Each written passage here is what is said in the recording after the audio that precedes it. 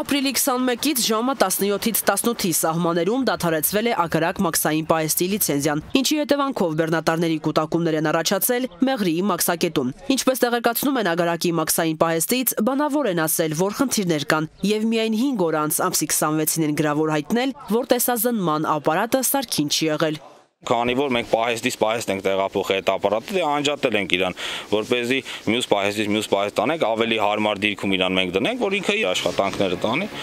զուտ դրա համար առանց ժամանակ տրամադրելու, որ մենք այդ խոչընդոտները բոլորը վերացնենք,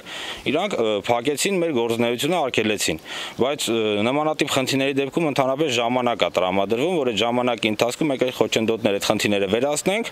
որ เป զի նորմալ արդեն սահուն հունով գնա մեր աշխատանքը։ Պետ նախագահի տեղակալ Շուշանիկ Ներսիսյանն էլ օրերս մաքսային պահեստում ընդամենը 5 րոպե մնաց, բայց կարծես մի չնչին թերություն գտնելու համար էր այստեղ։ Վիլա Տրանսը ՍՊ-ի տնորենն է ասում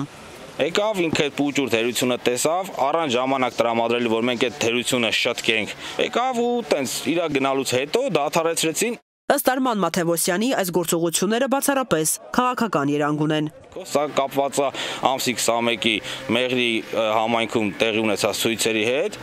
ու վերագրում են այս ամենը քաղաքականացնում են Մղտար Զաքարյանի ընտանիքի հետ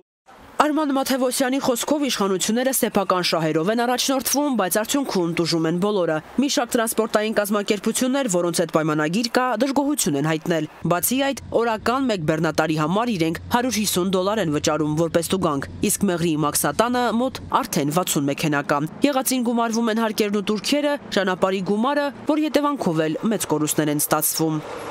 Անձամբ տեսնել բեռնատարների կൂട്ടակումները մեզ թույլ չտվեցին։ Ստիպված վարորդները դուրս եկան, համաձայնեցին հարցազրույց տալ, բայց այդ պահին եկան Սյունիքի մարզային ոստիկանները։ Մի քանի րոպե զրուցելուց հետո վարորդների հետ մտան Մաքսատուն։ Մոտ 3 ժամ հետո տեղեկացանք, որ նրանց են միացել Մեղրիի Մաքսատան պետի պաշտոնակատար Ծառուկյանը եւ Սիսյանի Մաքսային վարչության պետ Միրզոյանը։ Երեկոյան զանգահարեցինք Մեղրիի Մաքսատան պետի պաշտոնակատար Ծառուկյանին, որպեսի գոնե հենց Մաքսատան տարածքում հարցազրույց տա, ուղղորդեց պայմանավորվել մամուլի բաժնի հետ։ Ժամը 22-ի սահմաներում բոլորը դուրս եկան մաքսատնից։ Վարորդներին մոտեցանք, խուսափեցին էկրանին Երևալ։ Ասացին հիմա էլ սրա համար կբռնեն ու երկրորդ անգամ կտանեն բաժին ագարակի ցույցերից հետո։ Տեսախցիկից դուրս մեզ ասացին, որ իրենց առաջարկել են Կապանի Զանգեզուր մաքսատնով անցնել, սակայն ինչպես վարորդներն են պնդում, դա իրենց ձեռնտու չէ, ծախսատարության առումով։